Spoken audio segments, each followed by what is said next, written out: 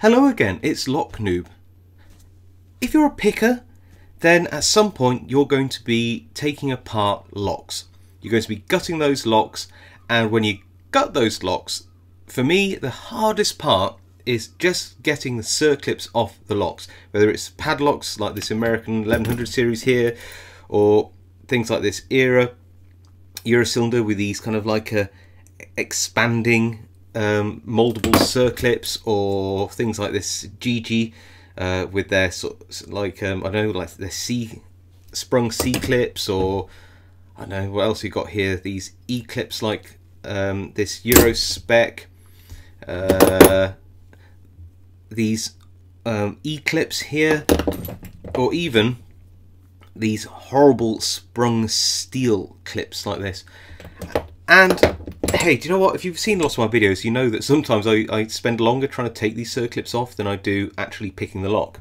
So I had to come up with a solution because there are a number of tools out there, but none of them are particularly versatile. So here is my pick kit and nestled in here, in actually one of the smaller pockets, just because I want to make sure that it fits in uh, an average size pick case, is my answer to that and this shiny object here is a circlip removal multi-tool that's supposed to lie flat in a pick kit for, for whenever you need it. The features are, um, and I might as well go left to right here, a large circlip remover, small circlip remover specifically for American locks and similar. We have a grippy sort of half moon shape here for pushing circlips back on, two core holders and a circlip pry with some extra grippy teeth on here. So, do you know what? Instead of me talking to you about how it works, let me show you how it works. So this has um, ears on it and you'll see that I've broadened the tip of this and back angled it. It's so that it pushes the tips away. Can you see how it's doing that?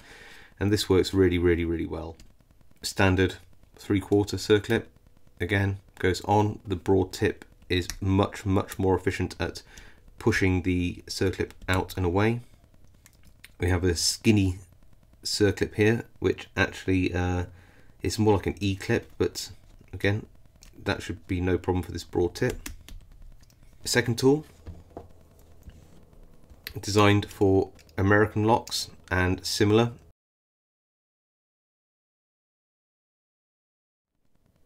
For these sort of E-clips, I like to use the, the pry functionality.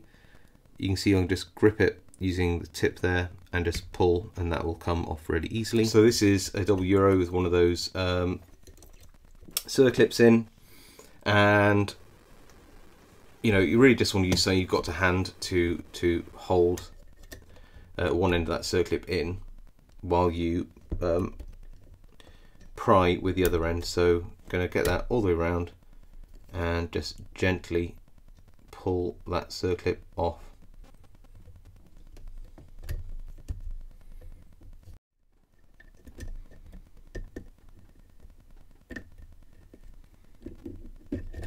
And there we go idea of this, of course, is that it just grips one side like that and just pulls the whole thing out.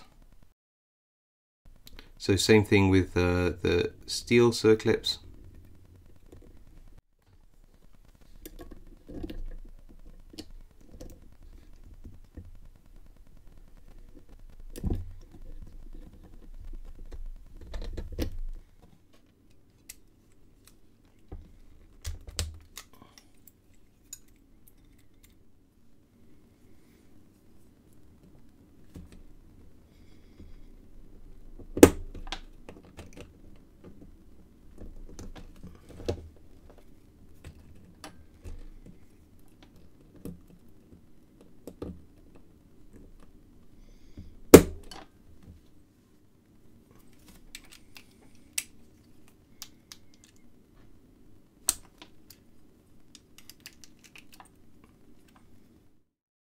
Anyway, once you've got your circlips off the back, what we want to do is, of course, take the cores out. once you've done that, you want somewhere just to keep them out of trouble so they don't move all the pins everywhere. And that's what this hole's for. It just uh, goes on um, on the underside of the lock like that and it keeps it in place like this and just means it acts like a, a T to stop that from rolling over. Same with the American lock cores. Once you've got those out, again, you don't want to leave it there for the pins to just tip out. So you can just stick those in like that. And yes, I know exactly what you're thinking. Does this open a beer bottle? Those of you who have watched my channel for a while, well, you might be thinking, isn't this laser cut? And actually you'd be right, this is laser cut 304 stainless steel. And I don't have a laser cutter. It's just that I had an idea which started out as a little sketch on a piece of paper. And then I thought, do you know what? I, I want to develop a circlip tool. What metal could I use which is um, under a millimeter, around 0.8 millimeters to be exact. Why? It's because to get between the cam and uh, the the body to take a circlip out needs something around 0.8 mils, uh, 0.9 maximum. Um, so what what do I have to hand that I could use to hand make a tool? And I thought, well, do you know what?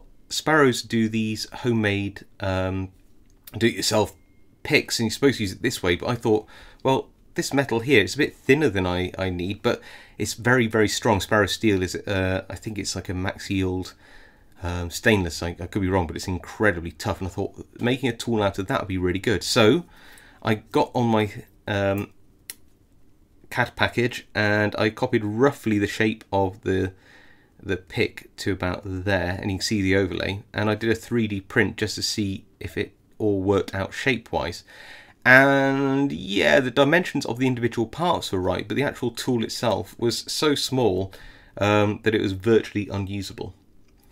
So that didn't work out. Unfortunately, the only way I found out it was unusable is by running a test to test my measurements and getting it cut in some 304 stainless. You can see that uh, I used the same file there to, to get that cut as the 3D uh, printer file and yeah, this was just just bad. I mean, I, I even thought about putting like a little um, Phillips head, flathead crossover screwdriver at one end and stuff. It, it just was bad. Um, it's partly an artifact of the, the laser cutting process, but the point was too sharp and nothing fit well in the hand. You know, it's uncomfortable to use, just unpleasant. So I up, up the scale of it and I actually ended up with this. So then we started getting something better. Still was a good size, fit in a pick kit. Uh, but again, the end was too pointy. It bent too easily and it didn't help push the circlip off.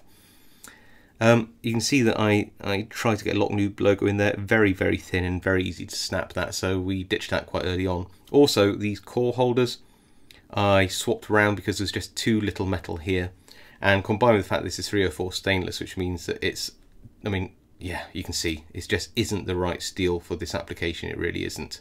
Although it is quite easy to bend back. Um, so I ended up with something like this and it was relatively comfortable to hold it was the right length because you had a, a, flat bit to hold there and you could press with your finger or, or vice versa on the other side. It was, it was comfortable in the right size but again just wasn't 100% correct. So we finally went to what you see above, which is, and this is an unpolished, um, straight out of the factory type one, and you see where we ended up. And I guess you can see quite clearly then the where I started and where I got to. So lots of the features uh, stayed the same, some didn't. So you can see here that I moved this smaller circlip remover up. I made this tip back angled and broader because there's just no need to have it sharp. There just wasn't any need. I made the um, grippy section a tiny bit deeper. I swapped over the holes from this one, so big first uh, to big last, so you had more metal here, which makes it stronger. and I increased the depth of the hook at the end purely because uh, this well you can see actually the evolution of the, the pry yeah there we go. And I just wanted to have something which wasn't too thin but could hook on and provide a good amount of strength. And this final one was about right. Also the angle of this um, I guess you'd call it like a cam with all its teeth on wasn't right and I made the teeth broader.